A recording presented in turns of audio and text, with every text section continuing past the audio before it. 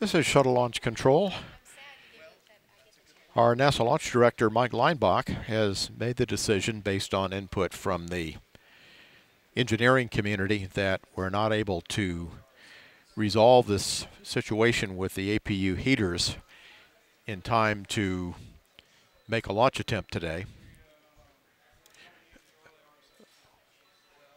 There's not a way to do the kind of troubleshooting that we need to do and still be able to stay in a countdown configuration. So we will be scrubbing for today. Right now, it will be at least a 48 hour scrub turnaround while we try to get a better handle on what will be necessary to understand better what the problem is. And uh, as we uh, have been able to piece it together, there will be some entry into the aft necessary to do that kind of troubleshooting.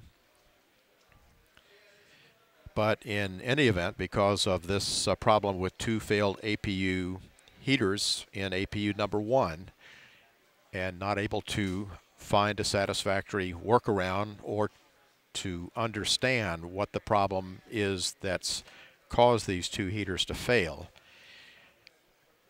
the decision was made and concurred by Houston Flight that we will scrub for today we will put together a troubleshooting plan.